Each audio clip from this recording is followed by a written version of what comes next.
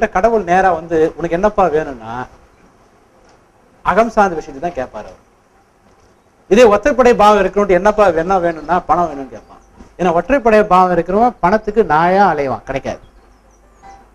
இரட்டைப்படை பாவம் இருக்கிறோம் உடல் சுகத்துக்காக ஒருத்தர் சொல்றாரு பாருங்க வீடு வேணுமா? வீடுலாம் எனக்கு வேண்டாம் சார் எனக்கு. வீடு நல்லா இருக்கு அனுபவிக்க முடியல பன்னெண்டும் இருக்கு அங்க. ஆனா என்ன பிரச்சனைன்றாரு? முதல்ல கல்யாணம் ஆகட்டும் சார் நாற்பத்தாறு வயசு ஆகுது. ஏன்னா அந்த இரட்டைப்படை பாவத்தோட தாக்கம் சார் ஓரளவுக்கு புரிஞ்சுட்டு இருப்பீங்கன்னு நினைக்கிறேன். சனி தசை ரொம்ப யோகத்தெல்லாம் கொடுக்காது சார் சனி தசை வந்து உங்களுக்கு பொருளாதார ரீதியாக நல்லா இருக்கும். ஆனா அந்த குடும்ப உறவு மன மகிழ்ச்சி சந்தோஷம்லாம் கொஞ்சம் கம்மியாக தான் இருக்கும். அதாவது உங்கள் ஜாதகத்தில் எப்பவுமே சார் வாழ்க்கையில் பெரும்பகுதி நீங்கள் தனியாக தான் சார் படிப்பீங்க ஏன்னா அந்த லக்ன பாவம் ஏழாவது வீடு ஆறாவது வீடு இதெல்லாம் வந்து ஆறு எட்டு பன்னெண்டுனாவே அந்த அமைப்பு அந்த மாதிரி வந்துச்சு ஆயிக்கலாம் அதுக்கு தகுந்த மாதிரி நம்ம வாழ்க்கையில நம்ம இது பண்ணணும். ஓகேங்களா? இதுல வந்து புதனுடைய அந்தரம் வரும்போது கடுமையான முயற்சி பண்ணிங்கன்னா நடக்கும். ஏன்னா இந்த ஜாதகத்துல திருமணம் சம்பந்தமான விஷயத்தை எந்த கிரகம்னா புதன் ஒரு கிரகம் தான் நல்லா இருக்கு. மீதி கிரகத்துல எல்லாத்துலயும் கொஞ்சம் சேதாரம் இருக்கு. அதுக்கப்புறம் பார்த்தீங்கன்னா நீங்க கேதுவை சொல்லலாம். ஆனா அது ஏழாவது வீட்டுலாம் வலுவா வச்சு இல்ல அல்ல வலுவு இல்லை அது. புதன் தான் நல்லா இருக்கு. Okay sir. அடுத்த ஜாதகத்துக்கு போயிடலாமா? என்ன சார்? என் பேர் சார் சத்தியபாலன் என்ன? பரிகாரம் இருக்கு சார் நமக்கு எது கிடைக்கும்னு நினைக்குதோ அதை நினைச்சுக்கிட்டு கிடைக்காததை கொஞ்சம் அட்ஜஸ்ட் பண்ணிட்டு போறது தான் பரிகாரம். அது கோயிலுக்கு போறது அதாவது என்ன அப்படின்னா சார் இது எல்லாம் வீடியோ எடுக்கிறீங்க. தனியா வந்தா பரிகாரம் சொல்றேன் நான். அறிவாளிங்க யாருன்னா நடந்தா நடக்குமான்னு கேட்பாங்க. பரிகாரங்கிறது என்னன்னு பாத்தீங்கன்னா உங்க ஜாதகத்துக்கு புதன் நல்லா இருக்கிறதால புதனுடைய அம்சம் இருக்கிற மகாவிஷ்ணு வழிபடுங்க. ஓரளவுக்கு இந்த தாக்கம் கொஞ்சம் கம்மியாகலாம் சார். ஆனா அது லாஜிக் சொல்ல முடியாது என்னால. எந்த கிரகம் கெட்டு போயிருக்கோ அந்த கிரகத்துடைய எந்த கிரகம் நல்லா இருக்கோ அந்த கிரகத்துடைய கடவுளையோ அந்த கிரகத்துடைய அம்சத்தில் இருக்கிறதுல உருவத்தையோ நம்ம வழிபடும் போது கொஞ்சம் நல்லா இருக்கலாம். கிரீன் ஷர்ட் அதிகமா போடுங்க. ஏன்னா உங்களுக்கு உங்களுக்கு திருமணம் சம்பந்தமான விஷயம் நடக்கணும்னா இந்த புதன் என்பது அதிர்ஷ்ட எண் என்பது ஐந்து. அதிர்ஷ்ட நிறங்கிறது பச்சை. ஆமாம் ஆமா சார். ஓரளவு ஓரளவுக்கு முடிஞ்ச அளவுக்கு. ஓகேங்களா? எது எது போடக்கூடாதுன்னா ஒயிட் போடக்கூடாது. அதாவது சாரி உங்க ஜாதகம்.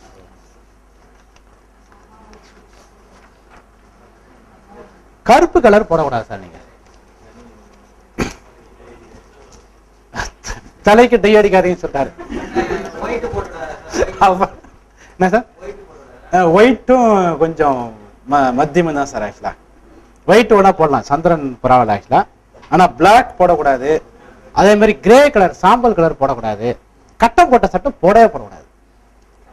இந்த கட்டம் போட்ட சட்டங்கிறது ராகு கேதுவோட காரகம் சார். சின்ன இல்ல சின்ன கட்டம் என்பது கேது.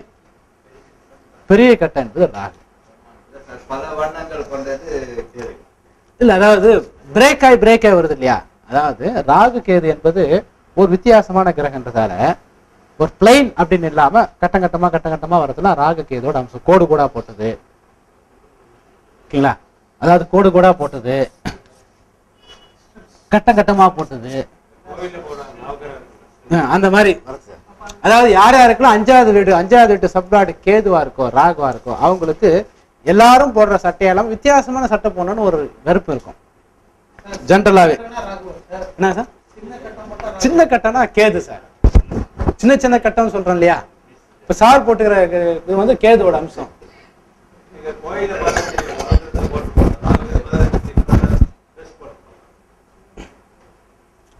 ராகுங்கிறது இதை இவர் போட்டுக்கிற கட்டம் மாதிரி. இது அவர் கோடு கூட இருக்கு இல்லையா? கோடு கூட வந்தா ராகு சார். இப்படி வந்துச்சுன்னா ராகு சார். இப்படி போட்டா என்ன ஆகுது? கேதுங்கிறது கட் பண்றதுக்கு கேதுவோட காரகம். ஒரு விஷயத்தை சுருக்குதல். இப்ப இப்படி பாருங்க இது எடுத்துட்டு பாருங்க. இல்லையா அது? நீங்க இங்க இருந்து ஆரம்பிச்சுன்னா எவ்வளவு தூரம்னா போயிட்டே இருக்காது தடையே இல்லை. ஆனா இப்படி கோடு போட்டா என்ன ஆகும்? ஒரு இதுதான் யா, கேதுவோட அம்சம். ஓகேங்களா? ஓரளவுக்கு கண்ட்ரோல் பண்ணலாம். உதாரணத்துக்கு எனக்கு வந்து குரு வந்து அஞ்சு பதினொன்னுக்கு தொடர்பு கொள்ளுது என் ஜாதகத்தில். என்னுடைய புக்கெலாம் பார்த்தீங்கன்னா மஞ்சள் கலரில் தான் இருக்கும். எனக்கு வீட்டுலாம் வீட்டில் மேலே இருக்கிற பெயிண்ட்லாம் மஞ்சள் கலர் தான் பண்ணுவேன் புதன் வந்து எனக்கு ஒன்று மூணு ஏழு பதினொன்றுக்கு தொடர்பு கொள்ளுது. வீட்டில் இருக்கிற சேர்லாம் பச்சை கலராக தான் இருக்கும். இந்த பச்சையும் எல்லையும் மாறி மாறி மாறி மாறி பயன்படுத்திட்டே இருப்பேன் நான். அப்புறம் ஒரு ஸ்டூடெண்ட்டும் கேட்டார் சார் நீங்கள் ரொம்ப இது வரைக்கும் படித்தா மட்டும் உங்கள் சென்டிமெண்ட் மாற மாட்டேங்குதான் சார். சொன்னார். இது இல்லாமல் ஒருத்தர் கேட்டார் எல்லாம் எழுதுறீங்க ஒரே ஒரு விஷயம் விநாயகர் ஏன் சார் போட்டு கழுத்து அறுக்கிறீங்க அப்படின்னா என்னங்க சார்? என்னங்க சார்? இல்லை ஒ- ஒரு சிலருடைய எண்ண வட்டங்கள் அது சென்டிமெண்டான உணர்வுகள். ஒவ்வொருத்தருக்கு சென்டிமெண்டான உணர்வுகள். அது லாஜிக்கா நம்ம கொண்டு போக முடியாது. அதனால என்னன்னு பார்த்தீங்கன்னா உங்களுக்கு என்ன கிரகம் நல்ல கிரகமோ அந்த கிரகத்தோட வைப்ரேஷனை இன்க்ரீட் பண்ணும்போது ஓரளவுக்கு கொஞ்சம் நல்ல வைப்ரேஷன் கிடைக்கும் சார். ஆக்சுவலா ஓகேங்களா? அடுத்து. யார் சார்? சத்திய சத்தியபாலன். ஆ இப்போ சொல்லுங்க சார். என்ன இது சார் இது?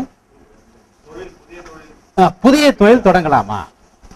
கடன் வாங்கி புதிய தொழில் கடன் வாங்கி புதிய தொழில் தொடங்கலாமா? சரிங்களா?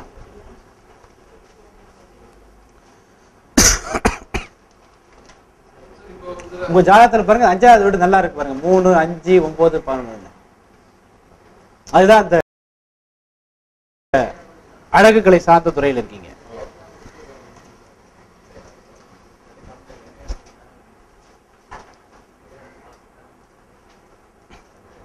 சார் புதிய தொழில் தொடங்கலாமான்னு கேக்குறாரு.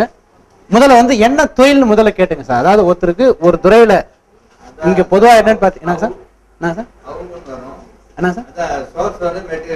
இல்ல அதாவது தொழில் அப்படிங்கிறது உலகத்துல எவ்வளவு தொழில் இருக்குன்னா மூணு லட்சத்தி முப்பத்தி ஒன்பதாயிரம் தொழில் இருக்கு சார் உலகத்துல. எல்லா தொழிலுக்கும் ஒரே ரூல்லாம் இல்ல சார். அகம் சார்ந்த தொழில் புறம் சார்ந்த தொழில் பிரிச்சுட்டு அதை நம்ம பிரிச்சுட்டு வரோம். அதுல என்ன என்ன மாதிரியான தொழில் sir actually tailoring institute fashion designing tailoring institute அப்படிங்கிற மாதிரி. இதுல என்னன்னா அப்படியே சொல்றது அப்படியே எழுதுங்க. பேப்பர்ல எழுதுங்க ஆக்சுவலா அதாவது டைலரிங்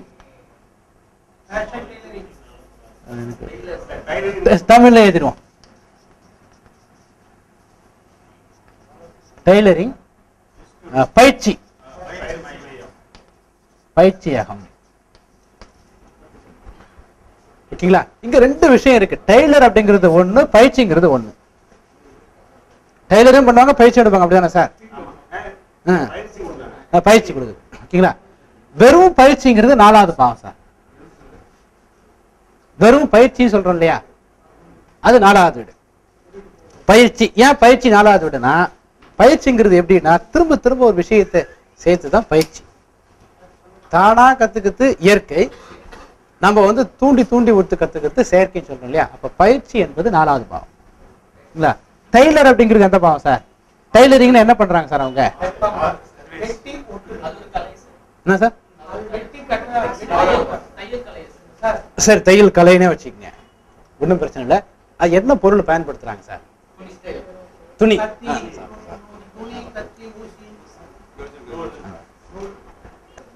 அப்ப ஆறாவது வீடு.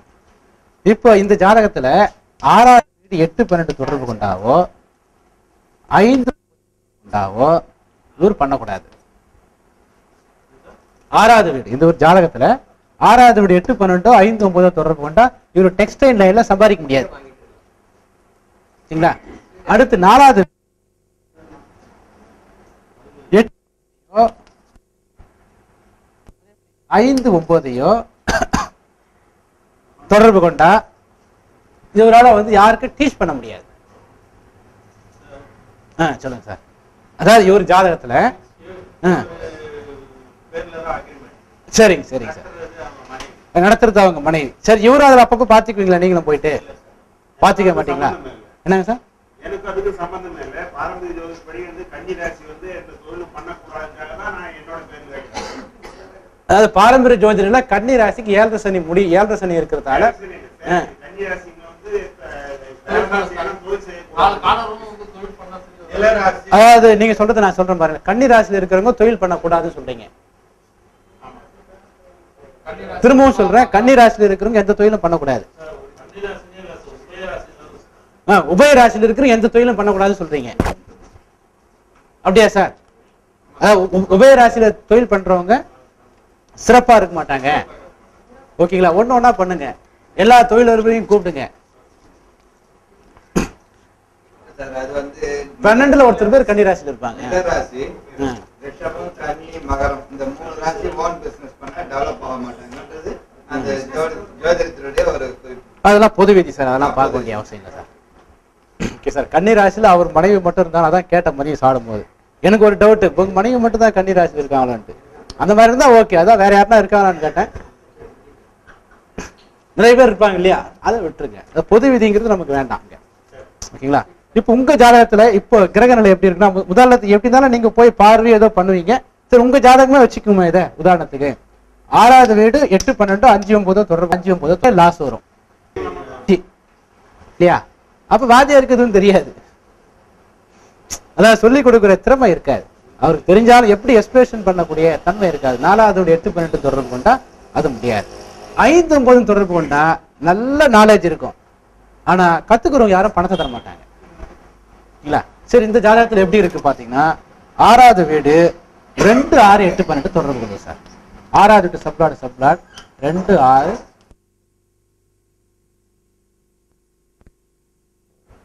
ஏன்னா எட்டு பன்னெண்டு ஓரளவுக்கு ரெண்டாறு கண்ட்ரோல் கண்ட்ரோல் பண்ணியிருந்தாலும் இதை மத்தியமே எடுத்துடலாம் அதுக்கப்புறம் நாலாவது விட பாருங்க.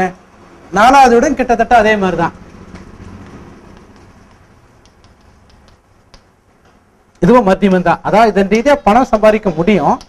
ஆனா கொஞ்சம் டென்ஷன் கொஞ்சம் வலி கடின உழைப்பு இதெல்லாம் தேவைப்படும். இது வந்து விதி. சரிங்களா இப்ப நடக்கிற மதியைக்கு பார்ப்போம். தசாபதிக்கு போய் பார்ப்போம். ரொம்ப ஃபாஸ்டா போயிருந்தா ஓகேங்களா? இப்போ மதியக்கு போறோம் தசாபதிக்கு போறோம். முதல்ல கொடுப்பினைன்னு பார்த்துட்டு அப்புறம் தசாபதிக்கு போறோம். இங்க போயிட்டு பத்தாவது வீட்டை பார்க்கணும் அதெல்லாம் இது இல்லை. கேள்வி என்னன்னா நான் பதவிக்கு வருவேனா அப்படின்னா தான் பத்தாவது வீடு சார். இந்த தொழிலை நடத்துவனா அப்படின்னா அந்த தொழிலுக்கு உண்டான பாவம் நல்லா இருக்கா? ஆமாம் சார். ஓகே சார் அதனால பொதுவான தொழிலுக்கு ஏழாவது வீடு ஏழாவது வீடு இவருக்கு ரெண்டு ஆறு எட்டு பன்னெண்டு தான். அப்படின்னு என்னன்னு பார்த்தீங்கன்னா வரவு செலவு சமமா இருக்கும். அதாவது லாபம் நஷ்டம் ரெண்டும் சமமா இருக்கும். நஷ்டமும் இருக்காது லாபம் இருக்காது. ஆவரேஜா போயிட்டு இருக்கக்கூடியதுதான் இப்போ நடக்கிற தசா புத்தி இப்போ நடப்பு தசை என்ன தசை? குரு தசை. குரு எப்படி இருக்கு? ஏழு பதினொன்னு காமிக்குது. குரு வந்து ஒண்ணு ஏழு பதினொன்னு காமி குரு தசையில ஜாதகம் நல்ல கௌரவமா இருப்பார். ஒண்ணு. ஏழு நிறைய மக்களை சந்திப்பார். புதிய புதிய மக்களை சந்திப்பார். ஏற்கனவே சந்திச்சவங்க திரும்ப வந்து சந்திப்பாங்க. ஒன்னா எழுதிக்கங்க ஏழாவது பாவம் என்பது மக்கள் தொடர்பு. ஏற்கனவே சந்திச்சவங்க திரும்பி வந்து சந்தித்தல் என்பதும் ஏழாவது பாவம் தான். என்ன சார்? ரெண்டாயிரத்தி ஏழுல குரு தசை குரு புத்தி முடியுது சார். இது வந்து ஒவ்வொரு புத்தி முடியிற நேரத்தையும் பட் ஆவரேஜா இருக்கும். இப்ப நடக்கிற தசை வந்து எப்படி இருக்குன்னா ஒண்ணு ஏழு பதினொன்னுங்கிறதால இந்த குரு தசையில எப்போதுமே தசையில யாருக்குன்னா ஏழு வந்தா அந்த தசையில எட்டு வேலை செய்யாது சார். எட்டு வந்து கண்ட்ரோல் ஆயிடும். ஒரு தசையில ஏழு இருந்தா அந்த தசையில வந்து அவங்களுக்கு எட்டாவது வீடு வேலை செய்யாது. எட்டாவது வீடுனா என்ன சார்? வலி வேதனை அவமானம் துக்கம் சங்கடம் துரோகம் இந்த மாதிரி கெட்ட கெட்ட விஷயங்கள்லாம் எதுவும் நடக்காது. திட்டமிடுதல் சரியா இருக்கும். ஏன் தசையில ஏழு இருந்தா எட்டு வேலை செய்யாதுன்னு சொல்றோம் சார்? எட்டாவது வீட்டுக்கு அது பன்னெண்டாவது வீடு. தசாநாதன் ஏழாவது வீட்டு கையில வச்சுட்டு இருக்கும்போது தசாநாதனுக்கு கட்டுப்பட்டு தான் புத்திநாதன் இருக்கணுங்கிறது ஒரு ஒரு அடிப்படை மரபு. அதாவது ஒரு ஒரு சீஃப் மினிஸ்டருக்கு கட்டுப்பட்டு தான் ஒரு மினிஸ்டர் இருக்கணும் அப்படிங்கிறது அடிப்படை மரபு. ஓகேங்களா? இப்ப தசாநாதனை ஒழிக்கணும் அப்படின்னா புத்திநாதன் வந்து இதுக்கு பன்னெண்டாவது வீடு பன்னெண்டு இதுக்கு பன்னெண்டாவது வீடு ஆறு இதுக்கு பன்னெண்டாவது வீடு பத்து. அதாவது ஆறு பத்து பன்னெண்டாவது விட எது காமிக்குதோ அந்த புத்தியில கொஞ்சம் தசாநாதன் பலம் விடுவார் இருந்தாலும் புத்திநாதன் எட்டு கையில வச்சிருந்தாலும் அந்த அளவுக்கு வீரியமா செயல்படுத்த முடியாது. ஏன்னா தசை வந்து ஒரு ஏழாவது வீட்டு கையில வச்சுங்கிறது ஒரு நல்ல அமைப்பு. ஓகேங்களா? என்ன சார்? ஆ தொடங்கலாம் சார். இப்ப நடக்கிற புத்தியை பார்ப்போம். தசையை பார்த்துட்டோம். நடக்கிற புத்தி. நடக்கிற புத்தி என்ன புத்தி இப்போ? நடக்கிற புத்தி சுக்கிர புத்தி. சுக்கிரன் எப்படி இருக்கு? ரெண்டு ஆறு எட்டு பன்னெண்டு. தொடர்பு கொள்ளுது. இந்த சுக்கிர புத்தியில என்ன நடக்கும்னா கடன் வாங்குவார். இந்த சுக்கிர புத்தியில கடன் வாங்கக்கூடிய ஒரு சூழல் வரும். கடன் வாங்குவீங்க. வாங்காம இருக்க முடியாது. ரெண்டு பேருட்டு மேல கடன் வாங்குவீங்க ஒத்துலிட்ட கடன் வாங்க மாட்டீங்க. ரெண்டு பேருட்டு கடன் வாங்குவீங்க ஏன் அப்படின்னா வெறும் ஆறுனா ஒருத்தர்கிட்ட கடன் வாங்குறது. ஆறு எட்டுனா ரெண்டு பேருட்டு கடன் வாங்குறதுனா தகுதிக்கு மீறி கடன் வாங்குறது. ஏன் தகுதிக்கு மீறி கடன் வாங்குறது? ஆறாவது இடங்கிறது சாதாரண கடன். எட்டாவது இடங்கிறது கொஞ்சம் வெயிட்டான கடன். இது வரைக்கும் வாழ்க்கையில் அது மாதிரி கடனை வாங்கியிருக்க மாட்டேங்க ஏன் அப்படி? என்ன சார்? அதாவது சார் ஆறாவது வீட்டுல உழைப்புன்னு இருக்கு சார். அதாவது என்னன்னா இருக்கிற பாவங்கள் பன்னெண்டு தான் சார். ஓகேங்களா ஆனா அதை வச்சு நடக்கிற விஷயங்கள் நிறைய. உதாரணத்துக்கு ஒரு பெரிய இங்கிலீஷ் புக்கு எவ்வளவு பெரிய புக்கு சார் மொத்தம் நாலாயிரத்தி எட்நூறு பக்கம். அதை நான் போயிருந்தேன் ஒருத்தர்கிட்ட இதுல எவ்வளவு எழுத்து இருக்குன்னு சும்மா காம் எனக்கு எப்பயும் கொஞ்சம் காமெடியாவே பேசி பழங்க யாரும் கோச்சிக்காதீங்க. ஒரு ஸ்டூடெண்ட் அது எவ்வளவு எழுத்து இருக்கு சார் அப்படின்னு கேட்டேன். வெறும் இங்கிலீஷ்ல பார்த்தீங்கன்னா இங்கிலீஷ்ல தான் டிரான்ஸ்லேஷன் பண்ணியிருப்பாங்க. அந்த மாதிரி புக்கு உடனே சார் எவ்வளவு எழுத்துன்னு கேட்டீங்க. அவர் என்ன பண்ண ரொம்ப இதுவாக வந்து சார் இதுல மூணு கோடியே முப்பது லட்சம் எழுத்து இருக்கு சார் அப்படின்னார். உடனே வேணா நீங்க கவுண்ட் பண்ணி பாத்துக்கினார் அப்படியா சார்? எனக்கு இருபத்தாறு எழுத்துக்கு மேல இருக்கிற மாதிரி எனக்கு தெரியலையே. நீங்க வேணா பாருங்க. அப்படின்னேன். ஏன்னா அந்த இருபத்தாறு எழுத்து தான் திரும்ப திரும்ப திரும்ப திரும்ப அந்த டிக்ஷனரியில வந்துட்டு இருக்கு. அதே மாதிரிதான் என்னன்னு பாத்தீங்கன்னா இருக்கிற பாவம் பன்னெண்டு தான். ஆனா அதே எழுத்தை வச்சு நீங்க எப்படி வேணா போடலாம். கோன் போட்டீங்கன்னா போதல் போன்னு அர்த்தம். அது கூட ஒரு காடு எட்டி போட்டீங்கன்னா காடுன்னு ஆயிடும் வருது இல்லை சார் டூனா செய்ன்னு சொல்றோம். அது பக்கத்துல ஒரு ஜீவி போச்சுன்னா டாக் ஆயிடுது. இந்த மாதிரி தான் என்னன்னு பார்த்தீங்கன்னா பாவங்களும் பார்த்தீங்கன்னா நிறைய காரங்கள் இருக்கு. அது சூழலுக்கு தகுந்த மாதிரி வச்சுட்டு காலையிலே நான் அவர்கிட்ட சொல்றேன் ஆறு எட்டு வருது. ஏதோ ஜாதகத்துல கடன்லாம் வாங்கி இல்லை சார் இது வரைக்கும் கடன் வாங்கல சார் நான் இப்போ வாங்க போறாரு. ஏன்னா இந்த அது புத்தி இப்பதான் வருது. நடக்கிற புத்தி என்ன புத்தினா சுக்கர புத்தி. இது எது வரைக்கும் இருக்குன்னு பாத்தீங்கன்னா ரெண்டாயிரத்தி பதினாறுல மே மாசம் வரைக்கும் இருக்கு. இந்த புத்தியில் அவர் கடன் வாங்க வேண்டிய ஒரு சூழ்நிலை வரும். சக்சஸ் ஆகும் சார் இந்த கடன் வாங்குவீங்க. கடன் வாங்கினா தொழில் தான் வாங்க போறீங்க. அப்படிங்கிற மாதிரி ஆயிடுச்சு ஆக்சுவலா ஏன்னா ஆறுன்னு வந்துட்டால. இது வீழ்ச்சி இல்ல மத்தியமம் கொஞ்சம் அதாவது உழைப்பு உழைப்புக்கு கொஞ்சம் அதாவது ஊதியத்தை விட உழைப்பு கொஞ்சம் அதிகமாக தர வேண்டிய ஒரு சூழ்நிலை இருக்கும். ரெண்டாவது மனைவி மனைவி மூலமாக இவருக்கு வருமானம் வருமா? அப்படின்னா அதுக்கு எந்த பாவத்தை பார்க்கணும் சார் ஏழாவது ஏழாவது எப்படி இருக்கு இவருக்கு? வெட்டப்படையா ஒத்தப்படையா மனைவி ரீதியா வருமானமும் இருக்கு. கொஞ்சம் பிரச்சனையும் இருக்கு. ஆறு மணிக்கு போறாங்கல்ல? அது விதி வழி வழி எதுங்கிறதால அதோட போக்கு நம்ம போயிட்டு தான் பெஸ்ட் அதுக்கப்புறம் சுக்கரன் என்ன? அதுக்கு காரகன். அங்கேயும் இரட்டைப்படை தான் இருக்கு. இதே உங்களுக்கு ஏழாவது வீடும் ஒத்தப்படை. சுக்கரனும் ஒத்தப்படைனா ஹவுஸ் ஒய்ஃபை வச்சுக்கிறது தான் பெஸ்ட் இந்த பிஸ்னஸ் ஆரம்பிக்கிறேன்ட்டு அப்புறம் எதுவும் பண்ண முடியாது அவங்களால. இது ஏழாவது வீடும் ரெட்டப்படை சுக்கரனும் ரெட்டப்படனா வீட்டில் மனைவி இருந்தால் தான் பிரச்சனை. எதனா ஒண்ணு பண்ணிக்கிட்டே இருப்பாங்க. இதுதான் இங்க இருக்கிற கான்செப்ட் நீங்க பழைய முறையில என்ன பண்ணீங்கன்னா நல்லது கெட்டது இது ரெண்டு தான் நம்ம பண்ணுவோம். நம்ம ஏழாவது வீட்டில் ராகு இருக்கா கெட்டது. ஏழாவது வீட்டில் குரு இருக்கா கெட்டது. ஏழாவது அதாவது பழைய முறையில யாரும் போச்சுக்கூடாது சார் உண்மைதான் சொல்றேன். பழைய முறையில் திருமணத்துக்கு இந்த மாதிரி கிரகம் இருந்தால் நல்ல அமைப்புங்கிறது ஒரு ரூல் கூட இல்லை சார் ஆக்சுவலா ஒரு ரூல் கூட இல்லை. இந்த மாதிரி இருந்தா மேரேஜ் லைஃப் நல்லா இருக்கும் அப்படின்ட்டு ஒரு ரூல் கூட இல்லை. இந்த மாதிரி இருந்தா மன வாழ்க்கை இது குழந்தை பிறப்பு நல்லா இருக்கு கேரண்டிங்கிறது ஒரு ரூல் கூட இல்லை. நான் என்ன சொன்னேன் இங்க கொஞ்ச நேரத்துக்கு முன்னாடி? ஏழாவது வீடு சுக்கரன் ஒத்தப்படை பாவம் தான் இருபத்தஞ்சு வயசுக்குள்ள மேரேஜ் ஆகும்னு தைரியமா ஆறு பேர் ஜாதகம் தான் கணிச்சேன். யார் ஜாதகமா இருக்கான்னு கேட்டேன். இருபத்தஞ்சு வயசுல எனக்கு மேரேஜ் ஆச்சுன்னு கையில தூ தூக்குனார் அவர். ஏழாவது வீடு சுக்கரன். பாவம் ஒத்தப்படை ஆச்சு இல்லையா? இதுதான் சார் தில்லு.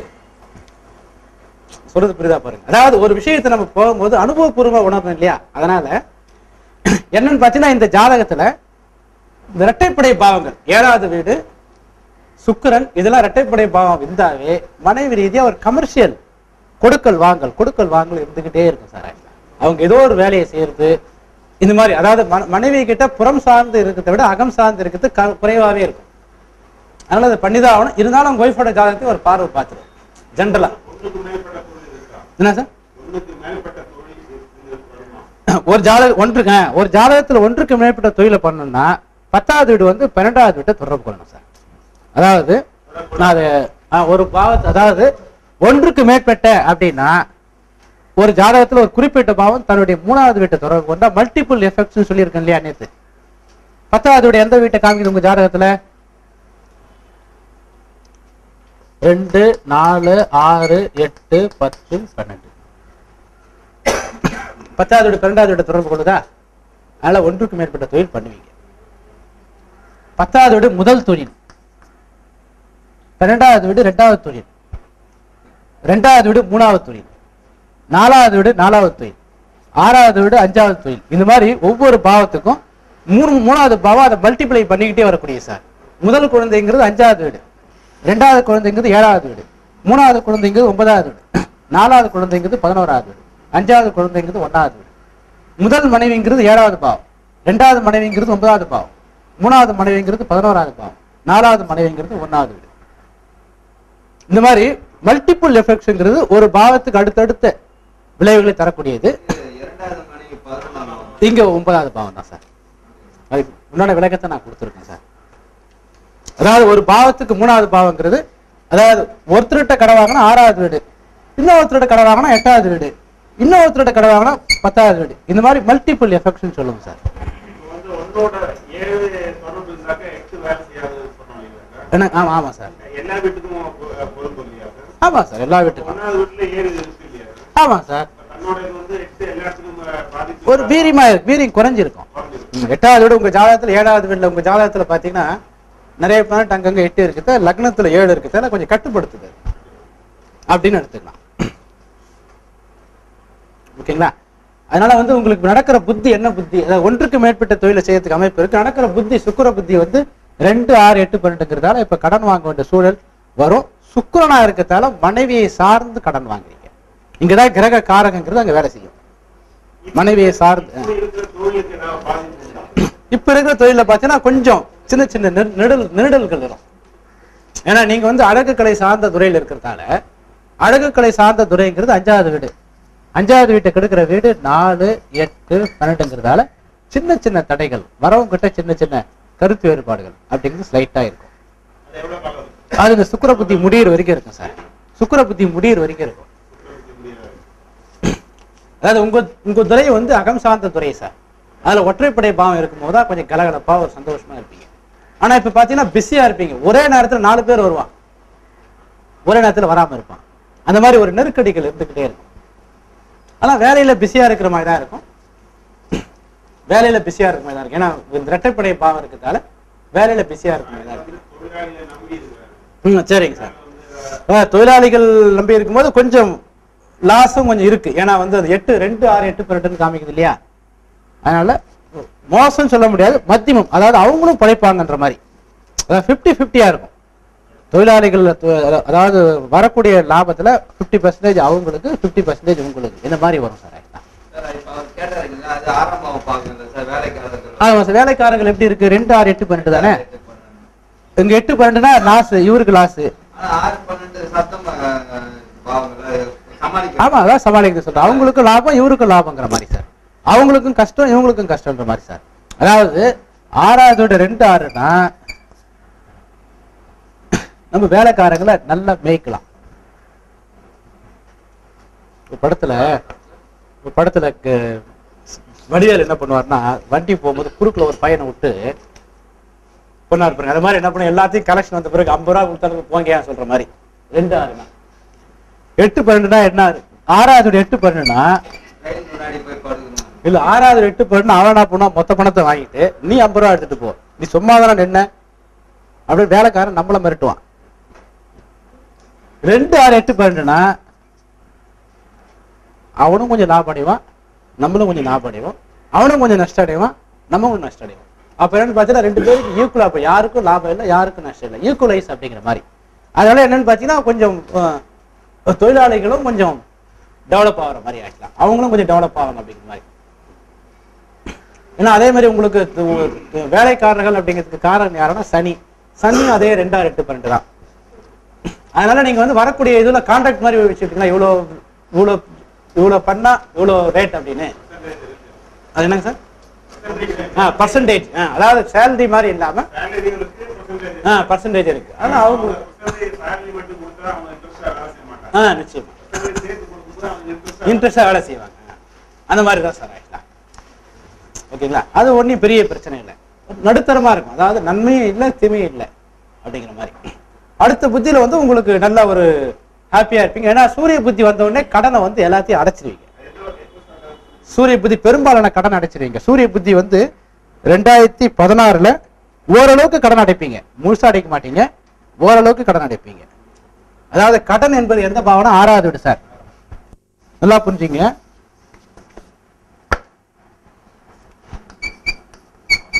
கடன் என்பது ஆறாவது வீடு கடன் அடைபடுதல் அப்படிங்கிறது அஞ்சாவது வீடு அதே நேரத்துல பெருங்கடன் அப்படிங்கிறது எட்டாவது பாவம். ஆனா நேற்று நான் பெருங்கடன் எழுதியிருக்கேன் நான் எட்டாவது பாவத்துக்கு. ஏன் எழுதல சார்? அங்க போர்டுல இடம் இல்லை அதுதான் சார். எழுதிருக்க முடியாது இல்லையா? எல்லாத்தையும் எழுதினா இடம் பத்துமா? அதனாலதான் எழுதல ஆக்கலாம் எட்டாவது விட பெருங்கடன். அப்ப பெருங்கடனை அடைப்பது எந்த பாவம் சார்?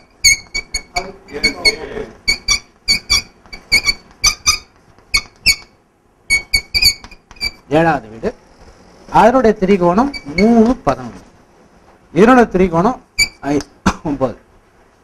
ஒன்னஞ்சு ஒன்பது அதாவது இதுவும் சப்போர்ட்டா இருக்கும். இந்த அஞ்சு தான் முக்கியம். அதே மாதிரி உங்களுக்கு பார்த்தீங்கன்னா இந்த குருத அதாவது இந்த சூரிய புத்தி வந்த உடனே என்ன வருதுன்னா மூணு ஐந்து ஒன்பது பதினொன்றுன்னு காமிக்கும். இது பெருங்கடனை இது ஏழாவது வீடு பெருங்கடனை அடைப்பது சார். அதாவது அஞ்சாவது வீடுனா கடனை அடைத்தல்னு பேர் சார். என்ன மாதிரி கடனை சும்மா சின்ன சின்ன கடனை. ஆனா பெரிய கடனா இருந்தா முதல்ல பெரிய கடனா இருந்தா முதல்ல எப்படி சார் அடைக்க முடியும்? அது சொல்லுங்க சார். ஒருத்தர்கிட்ட ஐம்பது லட்ச ரூபாய் கடன் இருக்கு சார். அடைக்க முடியும்? ஒரு சொத்து வித்து அடைக்கலாம் ஓகேங்களா? சொத்து வைக்கிறது எந்த பாவம் சார் சொத்து வாங்கறதுதான் நாலாம் பாவம் சொத்து வாங்கத்தான் நாலாம் பாவம். சொத்து வைக்கிறது மூணு ஏழு பதினொன்று. அப்ப சொத்து வித்தா பெருங்கடன் நினைச்சிடலாமா என்ன சார்? இப்படி சிந்திக்கணும் சார் ஆக்சுவலா அதாவது ஏழாவது வீடு என்பது பெருங்கடன் அடைப்பதுன்னு சொல்றது எட்டுக்கு பன்னெண்டாவது வீடுங்கிறது ஒரு தத்துவம் ஒண்ணு. அதே மாதிரி இந்த நாலு எட்டு பன்னெண்டு அப்ப மூணு ஏழு பதினொன்னு. ஒண்ணுல எங்கிட்ட ஒருத்தருக்கு கேட்பாங்க பெரிய பெரிய பணக்காரங்க. ஒண்ணுல சிம்பிளா சொல்லுவேன் நான். ஐம்பது லட்ச ரூபாய் கடன் வாங்க சொல்லுவாங்க. அடுத்து உள்ள மூணு பதினொன்று மூணு ஏழு பதினொன்று காமிக்கும். ஒரு ப்ராப்பர்ட்டி விற்கிற வித்து அடைப்பீங்க சார். சார் அதுக்கு தான் சார் முயற்சி பண்ணிட்டு இருக்கேன். எப்போ விற்கும் சார்? அடுத்த புத்தியில் வித்துரும் சார். வித்துனா கடன் அடைச்சிடுவார் உடனே என்னுடைய ஸ்டூடெண்ட் கேட்பார் சார் அவன் கடன் வைக்கணும் தான் வந்தான் ப்ராப்பர்ட்டி போச்சே சார். அவனுக்கு ஒத்தப்பட பாவம் தானே சார். பணம் வந்தா தானே சார் கடன் அடைக்க முடியும். பணம் வராம எப்படி சார் கடன் அடைக்க முடியும்? அப்படின்னு அவரு கேட்பார் ஆனா நீங்க பாருங்க ரெட்டைப்படை பணக்காரனுக்கு கடன் அதிகமா இருக்கா ஏழைக்கு கடன் அதிகமா இருக்கா சார்? பணக்காரனுக்கு தான் கடன் அதிகமா இருக்கும் வேலை செய்யறவனுக்கு கடன் அதிகமா இருக்குமா? வேலை இல்லாதவனுக்கு கடன் அதிகமா இருக்குமா சார்? வேலையே ஒருத்தனுக்கு இல்லை அவனுக்கு கடன் இருக்குமா? வேலை இருக்கிறவனுக்கு கடன் இருக்குமா சார்? வேலை செய்யறவனுக்கு வீட்டுல வந்து பணம் கொடுத்துட்டு கெஞ்சும் கெஞ்சுவான் ஐயா கடன் வாங்கிக்கோங்க. பேங்க்ல போடுங்க. தம்பி கொஞ்சம் போடுப்பா நல்லதா வேலை செய்யறேன் போடுப்பா கொஞ்சம் போடுப்பான்னு கெஞ்சுவான் actually. ஆனா வேலை இல்லாதவங்க போய் கேட்டா உனக்கு வேலை இல்ல தர முடியாதுன்னு என்ன சார்? ஏமாத்து போயிடுவேன். என்ன சார்? ஆ இந்த மூணு ஏழு பண்ணணுமோ அந்த மாதிரி ஒரு வாய்ப்பு சார். அதாவது சொத்து விற்கிறது இந்த மாதிரி வகையில ஒரு ஆல்ட்ரேஷன் பண்றது இந்த மாதிரி பண்றது இந்த மூணு ஏழு பதினொன்று அதாவது ஏழு பதினொன்று காமிக்கும் போது இப்போ புதன் வரும்போது உங்களுக்கு மூணு பதினொன்று வரும்போது கொஞ்சம் ஏதோ ஒரு ப்ராப்பர்ட்டி விற்கலாம் ஏதோ ஒரு இது நடக்கும் அங்க. ஆனா இந்த சூரிய புத்தி வரும்போது இந்த மூணு பதினொன்று காமிக்கும் போது ஒரு ப்ராப்பர்ட்டியோ ஒரு பொருளையோ கம்ப்ளீட்டா வித்துட்டு ஒரு பெரிய கடனை கொஞ்சம் கொஞ்சம் குறைப்பீங்க. அந்த கடனோட வலு வந்து அப்படியே கம்மியாயிடும். ஆனா விறுவிறுப்பு இருக்காது ஆனா கடன் அளவு குறையும். அதாவது ஒரு புத்தி ஆற காமிச்சு அடுத்த புத்தி ஒத்தப்படை பாவத்தை காமிதுன்னு வச்சுக்கோங்களேன். கடன் வந்து குறையும் சார். ஒரு புத்தி ஆறை காமிச்சு அடுத்த புத்தி எட்டை காமிதுன்னு வச்சுங்களேன் ஒரு கடன் அடைக்கிறதுக்கு இன்னொரு கடனை வாங்கிக்குவாங்க இந்த சேனல் உங்களுக்கு பிடிச்சிருந்தா இந்த டாபிக் உங்களுக்கு பிடிச்சிருந்தா லைக் பண்ணுங்கள் ஷேர் பண்ணுங்கள் கமெண்ட் பண்ணுங்கள் இந்த மாதிரி புதிய புதிய ஜோதிட தகவல் உங்களுக்கு வேணும்னா முக்கியமாக சப்ஸ்கிரைப் பண்ணுங்கள்